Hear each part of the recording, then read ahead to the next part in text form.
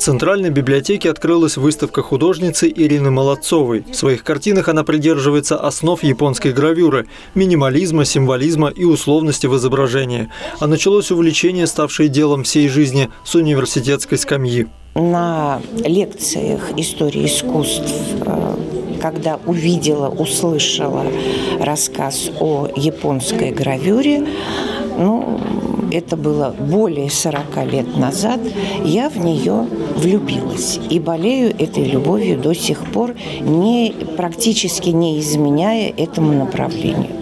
На выставке представлено 60 работ. Среди них традиционные японские мотивы – цветы, птицы, пейзажи, гейши, а также свитки и картины веера. Открытие экспозиции посетили любители живописи и поделились своими впечатлениями.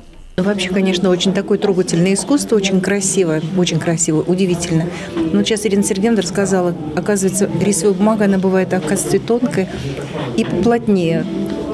Я не знала. Тут надо подойти к каждой картине, и на самом деле ее прочувствовать. Тут музыка способствует погружению. Ну, не знаю, девушки, конечно, красивые.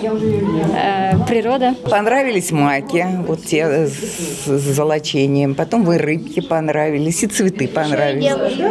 Да, и жанровая живопись тоже. Ну, в общем, все понравилось.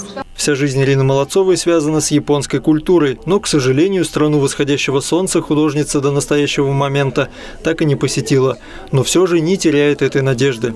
Японец, который э, был на вернисаже и смотрел мои работы, сказал, что в прошлой жизни, скорее всего, я была в Японии и жила там. Я не сопротивляюсь этому. По словам посетителей выставки, дух и атмосфера восточной страны мастерски передана в представленных картинах. Особенно они отмечают количество мелких деталей в работах художницы.